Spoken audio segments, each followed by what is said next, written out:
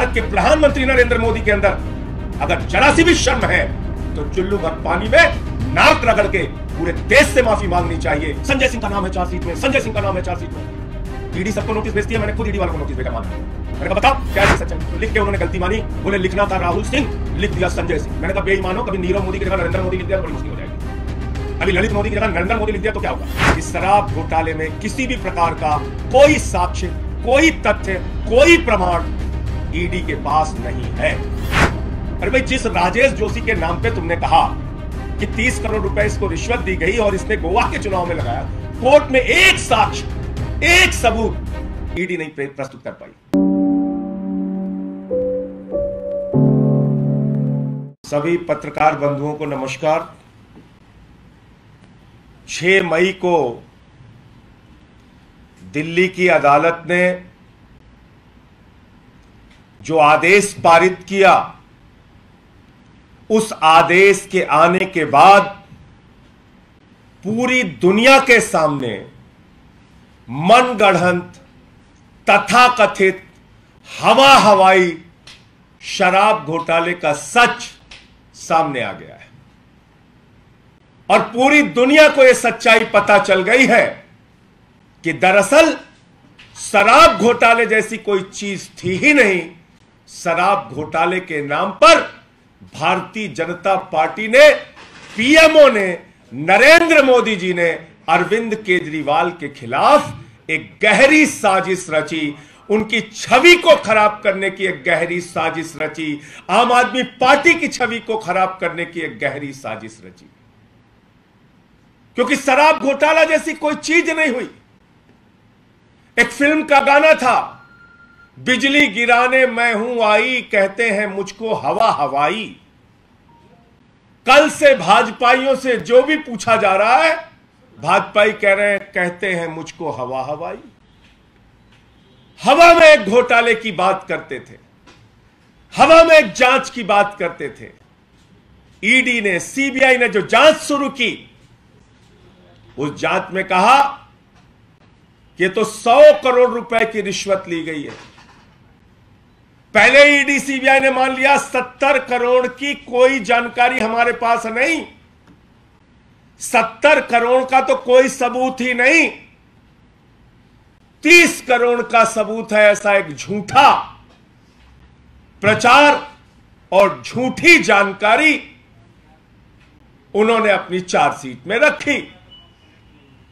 यह कहा कि राजेश जोशी नाम के एक वेंडर को साउथ के कुछ लिखकर व्यापारियों ने 30 करोड़ की रिश्वत दी। वो 30 करोड़ रुपए राजेश जोशी के माध्यम से गोवा चुनाव में खर्च किए गए। राजेश जोशी के माध्यम से गोवा चुनाव में 30 करोड़ रुपए खर्च किए गए। पिछले छह महीने से पूरी की पूरी ईडी सीबीआई पूरा का पूरा विभाग। नरेंद्र मोदी जी ने कहा, जाओ गोवा जाओ गोवा, जाँच करो जाँच करो। बेचारे ईडी सीबीआई वाले क्या करते हैं? दिन रात गोवा में लगे हुए हैं। इससे पूछो, उससे पूछो, इसको पकड़ो, उसको जेल में डालो, इसको हड़काओ, उसको धमकाओ। सारी जाँच कर ली ईडी सीबीआई ने, सारी जाँच कर ली। उसके बाद ईडी वालों ने कहा, साहब, कुल 19 लाख रुपए कैश में खर्च हुआ है। दुनिया की सबसे ईमानदार पार्टी है आम आदमी पार्टी, जो एक विधानसभा के प्रदेश के चुनाव में मात्र 19 लाख रुपए कैश में खर्च करती है। मैं नहीं ईडी और सीबीआई कह रही है। ईडी और सीबीआई कह रही है। 19 लाख रुपए मात्र खर्च किए गए। कोर्ट ने पूछा, भाई, आप ये 30 करोड़ का आरोप कैसे लगा रहे कहते कोई सबूत नहीं। कोर्ट ने कहा, कोई सबूत नहीं तो गिरफ़्तार करके क्यों रखा है? यह तो आपकी जाँच ही फर्जी है, बेबुनियाद है, निराधार है। इसमें तो कोई तथ्य नहीं, कोई प्रमाण नहीं। और इसके आधार पर राजेश जोशी और गौतम मल्होत्रा को कोर्ट ने जमानत दे दी। यह कहते हुए कि शराब घोटाले में किसी भी प्रकार का कोई साक्ष्य, कोई तथ्य, कोई प्रमाण ईडी के पास नहीं है। इसके बाद भारतीय जनता पार्टी के अंदर, भारत के प्रधानमंत्री नरेंद्र मोदी के अंदर अगर जरा सी भी शर्म है तो चुल्लू भर पानी में नाक रगड़ के पूरे देश से माफ़ी मांगनी चाहिए, अरविंद केजरीवाल से माफ़ी मांगनी चाहिए, आम आदमी पार्टी से माफ़ी मांगनी चाहिए, और यह हवा हवाई झूठा मनगणन जो घोटाला खड़ा किया गया, इस घोटाले को खड़ा करने वालों के खिलाफ सख्त कार्रवाई होनी चाहिए। एक ऐसी जाँच आप कर रहे हैं जिसका न सिर है, न पाँव है पहले दिन से हम लोग कह रहे हैं, शराब घोटाला, झूठ का एक पुलिंदा है, बेबुनियाद है, इसमें कोई तथ्य नहीं, कोई प्रमाण नहीं। लेकिन प्रमाण जुटाने के लिए दबाव बनाया गया पीएमओ की ओर से। प्रमाण जुटाने के लिए ज़बरदस्ती ईडी पर दबाव बनाया गया प्रधानमंत्री के द्वारा, नरेंद्र मोदी के द्वारा, भारतीय जनता पार्टी के द्वारा, कह रहे केजरीवाल की छवि खराब करो, कहीं से भी पकड़ो, सबको गिरफ़्तार करो। आम आदमी पार्टी की छवि खराब करो, इनके नेताओं की छवि खराब करो। तो क्या क्या किया इसके लिए? एक चंदन रेड्डी नाम के व्यक्ति को पकड़ा। उसको मारा पीटा, दोनों कनपटी फाड़ दी उसकी। बोले लिखिए बयान कह रहा हूँ। कनपटी फाड़ दी दोनों। हाई कोर्ट में उसने केस किया, अपनी मेडिकल रिपोर्ट लगाई। समीर महेंद्र ने कोर्ट में कहा, साहब, हमसे जबरन ज़बरदस्ती बयान लिया ईडी ने। अरुण पिल्लई ने कोर्ट में कहा, साहब, हमसे गलत ज़बरदस्ती बयान लिया। इतना ही नहीं, कितनी झूठी कहानियाँ, और कैसे चीखते थे, नाचते थे भाजपाई, ऐसे लगता था टीवी फाड़ के बाहर निकल जाएँगे।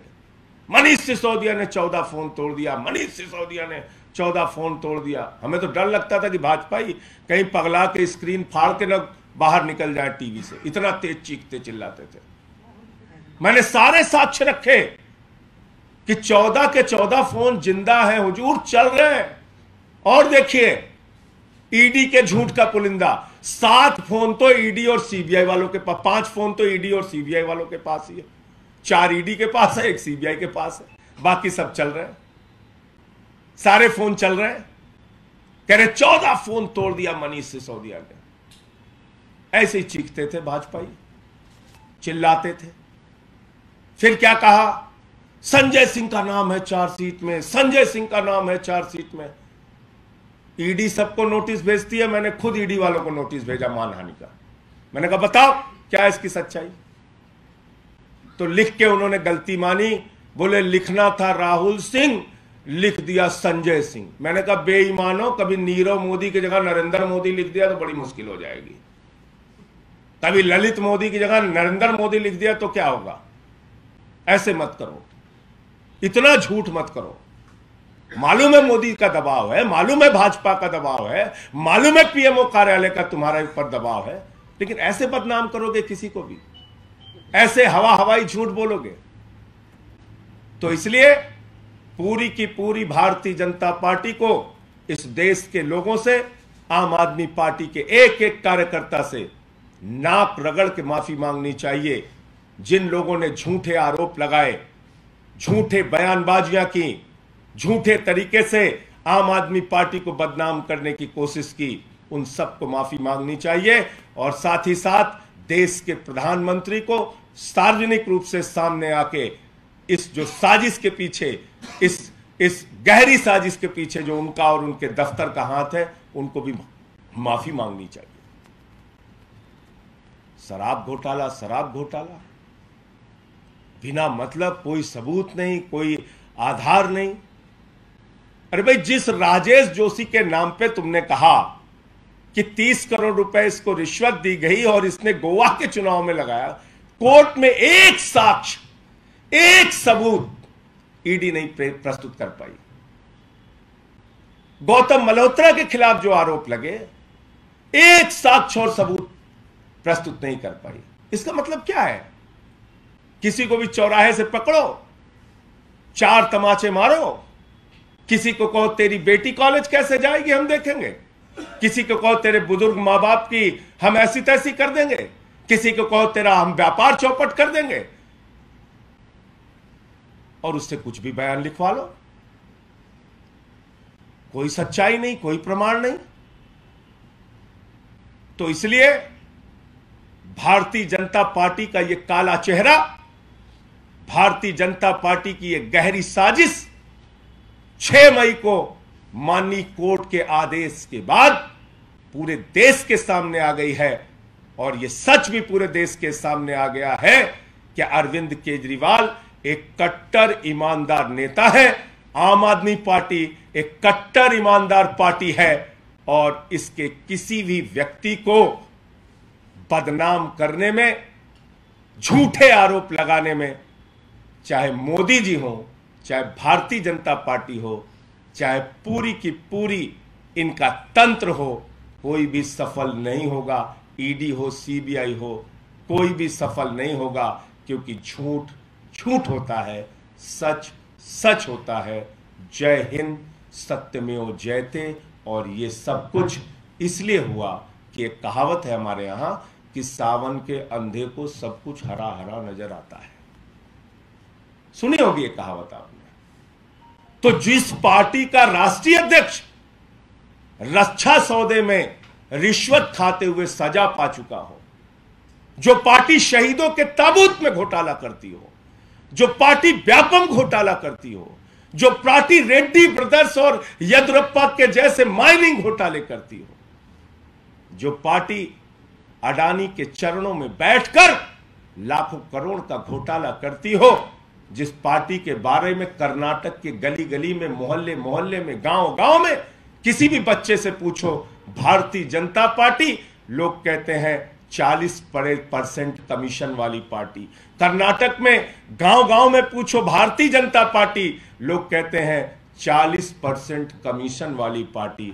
तो जिन भाजपाइयों के दिमाग में दिन रात घोटाला घोटाला घोटाला घोटाला चलता रहता है, उनको तो सावन को, के अंधे को सब कुछ हरा हरा नज़र आता है। घोटाले बाजों को मन गढ़ंत झूठा, एक शराब घोटाले का आरोप केजरीवाल और आम आदमी पार्टी को बदनाम करने के लिए लगाना था। इसीलिए उन्होंने ये पूरी कहानी रची थी। लेकिन इसका पूरा सच, पूरा साक्ष्य, पूरा प्रमाण अब देश के सामने आ गया है। और मैं फिर दोहरा रहा हूँ कि प्रधानमंत्री नरेंद्र मोदी को, भारतीय जनता पार्टी को चुल्लू भर पानी लेके नाक रगड़ के पूरे देश से आम आदमी पार्टी और अरविंद केजरीवाल को बदनाम करने के लिए माफ़ी मांगनी चाहिए। अब फिर मैं उन्हीं चीज़ों को दोहराऊँगा तो आपको अच्छा नहीं लगेगा। मैं तो कह रहा हूँ कि भाजपाई कल से क्यों गाना गा रहे हैं कि कहते हैं मुझको हवा हवाई। कहा गए? जो पूरे के पूरे आ, आरोप कोर्ट में ध्वस्त हो गए। एक सबूत, एक प्रमाण नहीं मिला। तो अब मुँह जिलाने के लिए खिसियानी, बिल्ली, खंबा, नोचे टाइप भाजपा कुछ भी बोलती रहे। कहा था ना चीख के, चौदह फ़ोन तोड़ दिए मनीष सिसोदिया ने। मैंने सारे साक्ष्य रखे। तो भाजपाइयों को माफ़ी नहीं मांगनी चाहिए इसके लिए। कहा गोवा के चुनाव में पैसे लगे, कोई सबूत नहीं मिला। तो इसके लिए भाजपाइयों को माफ़ी मांगनी चाहिए। जितने झूठ मेरे मेरे खिलाफ बोला। खुद ईडी ने कह दिया, गलती हो गई, गलती से नाम लिख दिया। तो इसलिए मैं कहता हूँ, गंदी राजनीति करो, इतनी घटिया। अब दिक्कत क्या है कि गुजरात में शराब घोटाला होता है, उत्तर प्रदेश में शराब घोटाला होता है, नकली शराब पी के लोग मर जाते हैं। यही सब करते हैं भाजपाई तो उनको यही लगा होगा कि आम आदमी पार्टी पे एक मन गढ़ंत हवा, हवाई, ख्याली, पुलाव घोटाला बनाओ।